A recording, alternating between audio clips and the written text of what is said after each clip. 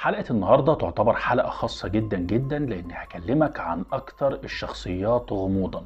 هكلمك عن حرس أمراء وملوك ورؤساء دول العالم. الحرس الشخصي للرؤساء أو الأمراء أو الملوك بيتمتعوا بغموض شديد جدا جدا. غموض لدرجة إنك ممكن ما تعرفش اسم حقيقي لأي حد فيهم.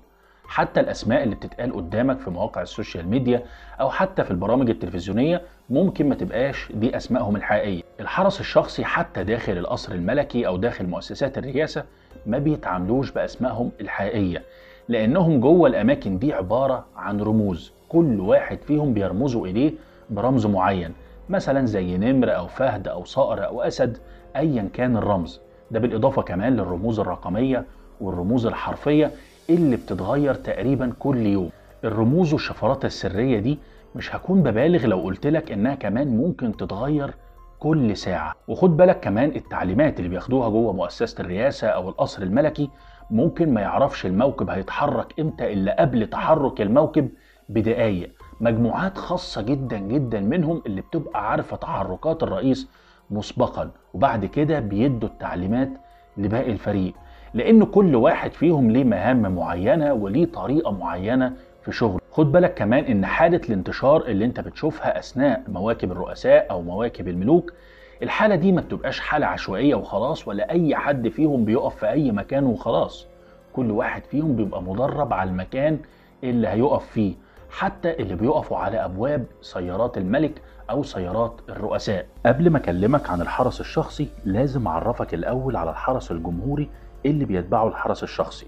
الحرس الجمهوري أحد أفرع القوات المسلحة المصرية وبيتبع رئيس الجمهورية مباشرة وتم تأسيسه على إيد الفريق الليسي ناصف وللعلم الليسي ناصف كان قائد الحرس الشخصي للرئيس الراحل البطل محمد أنور السادات.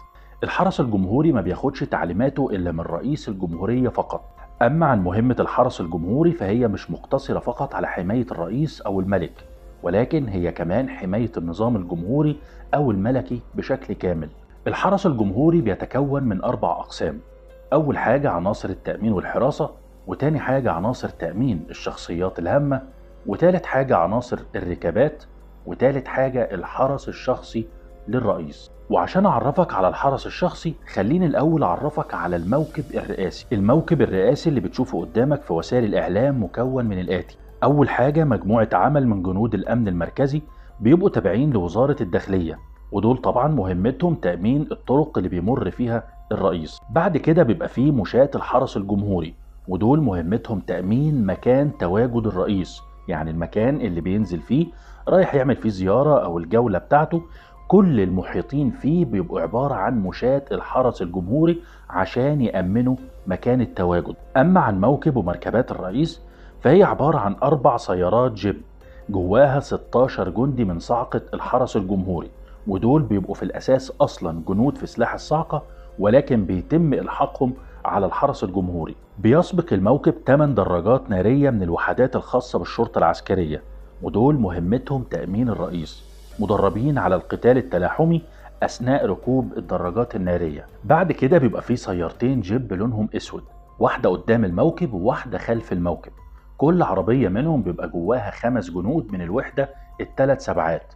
والتلات سبعات أنا كنت كلمتك فيها قبل كده وهسيب لك لينك الفيديو الخاص بيهم في صندوق الوصف. بعد كده بيبقى فيه أربع سيارات مرسيدس محيطة بسيارة الرئيس واحدة على اليمين وواحدة على الشمال وفي الأمام وفي الخلف وكل سيارة منهم بيبقى جواها ثلاث ضباط من الحراسات الخاصة بالرئيس. ومؤخرا انضم الموكب الحراسة المروحيات الام اي تي بي كي ودي للتصوير والاستطلاع والتأمين. وأخيرا وأهم سيارة في الموكب كله هي سيارة الرئيس ودي بيبقى جواها الرئيس وأمين عام الرئاسة وطبعا الحارس الشخصي المرافق الملاصق لرئيس الجمهورية أو بالمعنى الأمني ظل الرئيس. ظل الرئيس أو الحارس الشخصي بيبقى واحد من ضمن مجموعة أو طاقم حراسة شخصية على مدار ال 24 ساعة.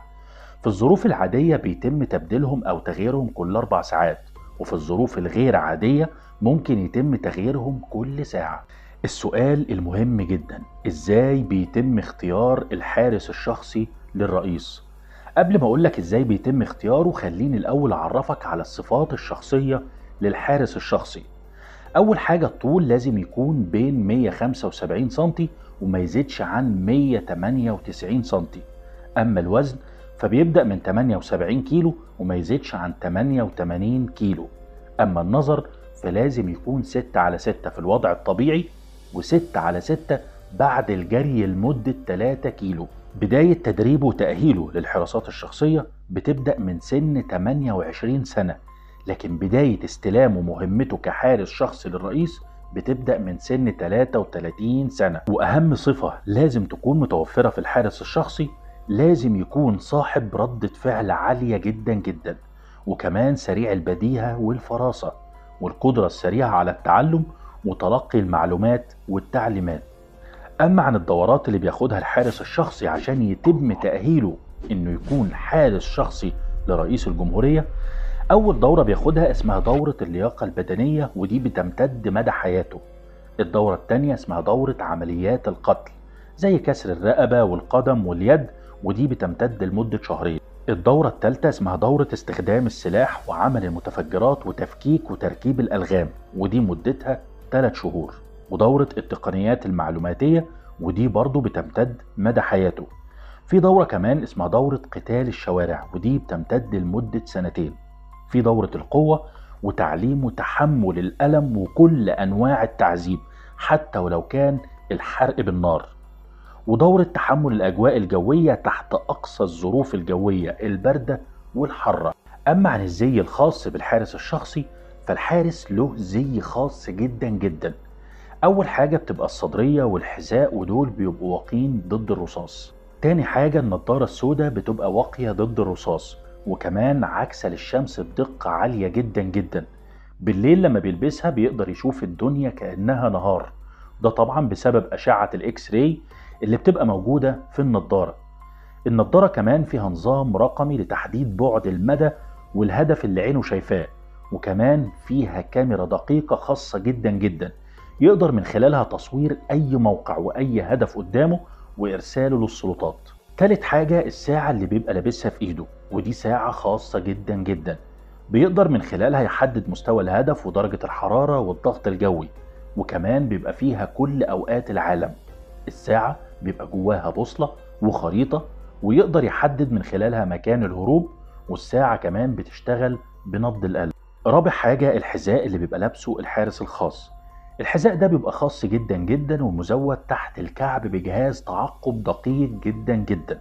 بيبقى موجود تحت الكعب مباشرة. من خلاله بتقدر الدولة تحدد مكان الحارس في أي وقت وأي مكان. وكمان بيبقى مزود بسكين دقيق جدا جدا ومسدس صغير عيار 5 مللي. أما عن أشهر الحراسات الشخصية على مستوى العالم أول حاجة حرس الرئيس الأمريكي وأشهرهم طبعا الحارس ذا اليد الصناعية. الحارس ده اتعرف دايما بقبضة إيده الصناعية. أما عن إيده الحقيقية فدايما بتلاقيها تحت الجاكيت ماسكة مسدس. رقم اتنين حرس الملكة إليزابيث. وخد بالك إن الملكة نفسها معاها نظام حماية شخصي متكامل.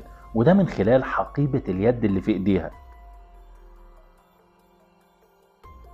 بيجي بعد كده رقم ثلاثة حرس الرئيس الروسي فلاديمير بوتين. ثم بعد ذلك بيجي حرس الرئيس الكوري كيم يونغ.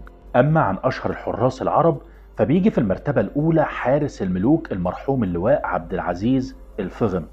الحائز على لقب أفضل حارس شخصي على مستوى العالم. ده كان الحارس الشخصي للملك سلمان وقبله كان حارس شخصي للملك عبد الله وتم اغتياله في سبتمبر 2019 على إيد أقرب أصدقائه. بيجي بعد كده حرس الرئاسة المصرية من أشهرهم طبعا سيادة الفريق الليسي ناصف اللي كان الحرس الشخصي للبطل الراحل محمد أنور السادات وحاليا أو في توقيتنا الحالي أشهر شخصيات الحرس الجمهوري العقيد محمد شعراوي. يجي بعد كده ظل الملك محمد السادس ملك المغرب وهو عزيز الجعايدي. وطبعا ما ننساش حارسات الرئيس الراحل معمر القذافي وعلى رأسهم طبعا قائدة الحرس العقيد عائشة عبد السلام. وفي النهاية أتمنى أن ما أكونش طولت على حضراتكم. متشكر جدا جدا ليكم. من فضلك لو كنت استفدت من الفيديو ولو بمعلومة واحدة. قبل ما تخرج ما تنساش إنك تشترك في القناة وتضغط اللايك. وتفعل الجرس عشان يوصلك إن شاء الله مني كل جديد لو حضرتك حابب. متشكر جدا جدا ليكم. السلام عليكم.